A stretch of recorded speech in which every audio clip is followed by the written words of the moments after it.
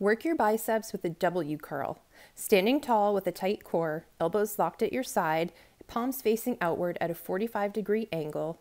Squeeze your hands up towards your shoulder and control the motion back down to starting position. This can also be done in an alternating fashion.